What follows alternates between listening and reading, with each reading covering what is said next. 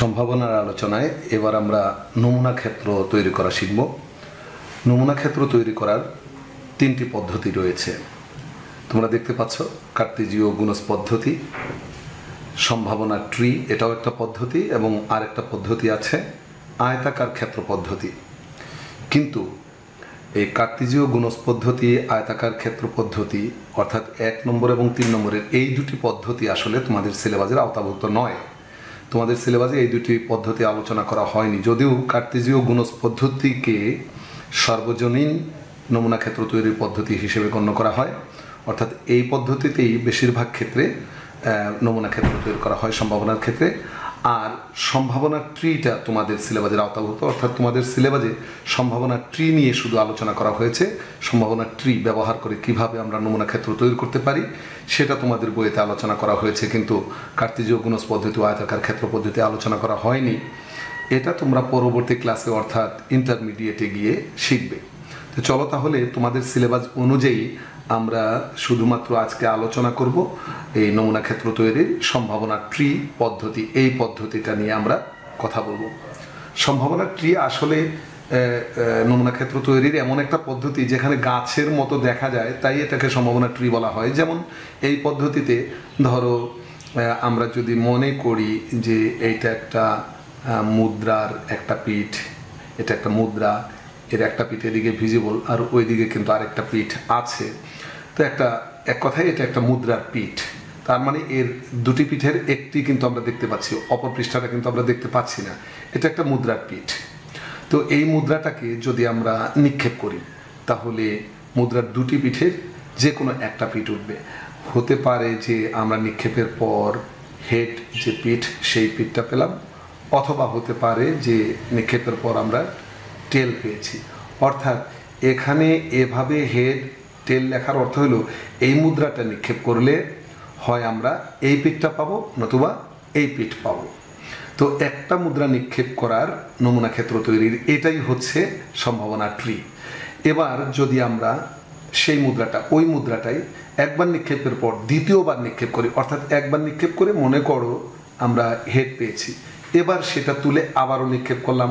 তো আবারও নিক্ষেপ করলে এখানে আবারও হেড আসতে পারে অথবা টেল আসতে পারে। মানে প্রথমবার নিক্ষেপ করেছি, হেড এসছিল। হেড আসার পর আমরা ওই মুদ্রাটাই তুলে আবারও নিক্ষেপ করলাম। আসতে পারে হেড অথবা টেল। অথবা দেখো, প্রথমবার নিক্ষেপ করে আমরা মনে করো টেল পেয়েছিলাম।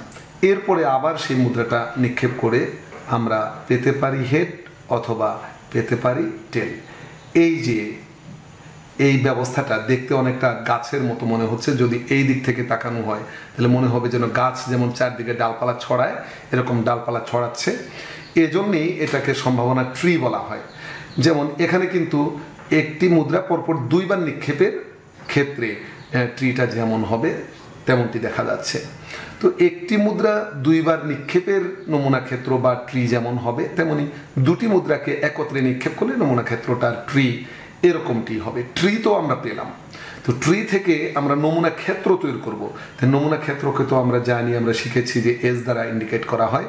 সো এস ইকুয়াল টু এই যে সেকেন্ড ব্রেকেটের ভিতরে এখন আমরা ফলাফলগুলো লিখব।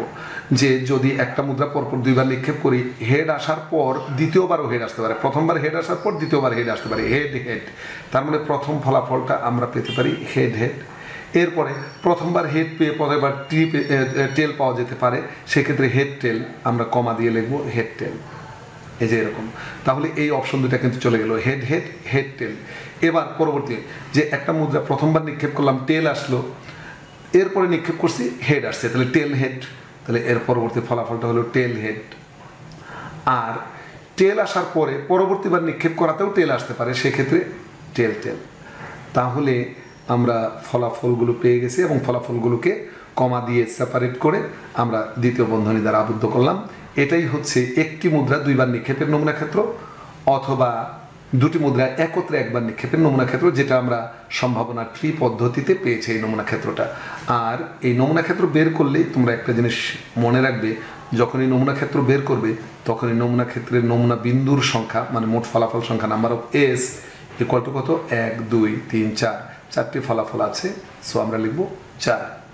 তো এভাবে আমরা একটি মুদ্রায় তিনবার নিক্ষেপের নমুনা ক্ষেত্র তৈরি করতে পারি। সেক্ষেত্রে এখান থেকে পাবো আরও দুটি অপশন হেড টেল এই যে এখানে।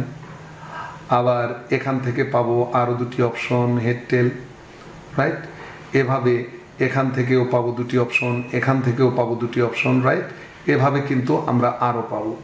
এই যে যদি আমরা তিনবার নিক্ষেপ করি একটা মুদ্রা, অথবা তিনটি মুদ্রা একত্রে নিক্ষেপ করি একবার। সেক্ষেত্রে কিন্তু ফলাফলগুলো চেঞ্জ হয়ে যাবে। কীভাবে? হেড হেড হেড এটা হেড তদ্রূপ হেড হেড টেল তদ্রূপ হেড টেল হেড এরকম। Head tail head head tail tail এভাবে কিন্তু নমুনা ক্ষেত্রগুলো ক্ষেত্রে ফলাফলগুলো চেঞ্জ হয়ে যাবে। তো এভাবে দেখো তোমরা একটু লক্ষ্য করো যে আমরা দুইবার নিক্ষেপ করার নমুনা ক্ষেত্রটা যত সহজে পেয়েছিলাম, এবার তিনবার নিক্ষেপ করাতে এই যে পয়েন্টগুলো এই যে ক্ষেত্রগুলো আমরা তৈরি করেছি, এই যে বর্গাকার ক্ষেত্রগুলো বা আয়তাকার ক্ষেত্রগুলো, এগুলি কিন্তু এখন একটা আরেকটার উপরে গিয়ে পড়ছে। এবার যদি আমি আরেকবার নিক্ষেপ করি জায়গায় কিন্তু পাবো না, তাই না? তো এই ক্ষেত্রে দেখা যায় যে সম্ভাবনা ট্রি এর মাধ্যমে আমরা যদি নমুনা ক্ষেত্র তৈরি করতে চাই, তাহলে ট্রি তৈরি করার ক্ষেত্রে একটা মুদ্রা দুইবার, তিনবার নিক্ষেপেরও করা যেতে পারে, চারবার নিক্ষেপেরও করা যেতে পারে। কিন্তু যদি একটা মুদ্রাকে দশবার নিক্ষেপের নমুনা ক্ষেত্র তৈরি করতে বলা হয়, সেটা কিন্তু অনেকটাই কঠিন হয়ে যাবে। এই জন্যেই সম্ভাবনা ট্রি পদ্ধতিটা এতটুকু মানে গ্রহণযোগ্যতা পায়নি। গ্রহণযোগ্যতা পেয়েছে, সবচেয়ে বেশি গ্রহণযোগ্যতা পেয়েছে কার্তিজীয় গুণস পদ্ধতি, যেটা তোমাদের সিলেবাসে আলোচনা করা হয়নি, ইনশাল্লাহ। উচ্চ মাধ্যমিক পর্যায়ে গিয়ে তোমরা পাবে এবং তখন তোমরা শিখবে। আয়তাকার ক্ষেত্র পদ্ধতিটাও অনেক সহজ।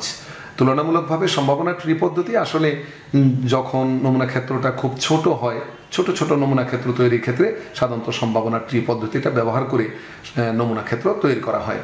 তো আমি আশা করি এই যে একটা মুদ্রা নিয়ে করলাম, তোমরা ইচ্ছে করলে একটা ছক্কা নিয়ে করতে পারো। একটা ছক্কার ছয়টি পিঠ, এই যে একটা ছক্কার পিঠ, আমি দেখালাম, একটা পিঠ দেখালাম। এখন একটা মুদ্রা যদি নিক্ষেপ করা হয়, ছয় পিঠের যে কোনো একটা পিঠ উঠতে পারে, সুতরাং সেক্ষেত্রে কিন্তু আমরা এখানে ছয়টি অপশন এঁকে নেব। একবার নিক্ষেপ করলে একটা ছক্কা যদি একবার নিক্ষেপ করা হয়, ছয়টা অপশনই কিন্তু আমরা এঁকে নেব। এই যে দুইটা অপশন গেল। হ্যাঁ এই যে তিনটা অপশন চার, হুম, পাঁচ এবং আরেকটি অপশন আমরা তৈরি করি হ্যাঁ সরি আরেকটা অপশন আমরা তৈরি করি, এই হয়ে গেল ছয়। হ্যাঁ এখানে লিখব এক, দুই, তিন, চার, পাঁচ, ছয়। তাহলে এটা কিন্তু একটা ছক্কা একবার নিক্ষেপের আহ, সম্ভাবনা ট্রি কিন্তু এটাকে যদি আবার আমরা আরেকবার নিক্ষেপ করতে চাই ধরো এক উঠেছে এবার একে আবার ধরে নিক্ষেপ করব। এখানে কিন্তু আবার ছয়টা অপশন তৈরি করতে হবে। তাহলে এর প্রত্যেকটা থেকে কিন্তু আরও ছয়টা আসবে যেটা অঙ্কন করা আসলেই অনেকটুকু কঠিন। এজন্যেই সম্ভাবনা ট্রি ব্যবহার করে খুব বেশি নমুনা ক্ষেত্র আমরা তৈরি করতে পারি না যদিও তোমাদের সিলেবাসে শুধুমাত্র এই পদ্ধতিটাই আলোচনা করা হয়েছে। আশা করি নমুনা ক্ষেত্র তৈরি করার এই পদ্ধতিটি তোমরা বুঝতে পেরেছ।